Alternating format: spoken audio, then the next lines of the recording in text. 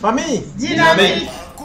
Euh, la famille Dynamique confirme sa présence le 6 août à la soirée dédicace de Manon Sabi à la salle Zaiter le 6 août. Venez nombreux et on va bien s'amuser. Du corps à vous les gars Ah, N'assassinez plus les n'empoisonnez plus les bénisses.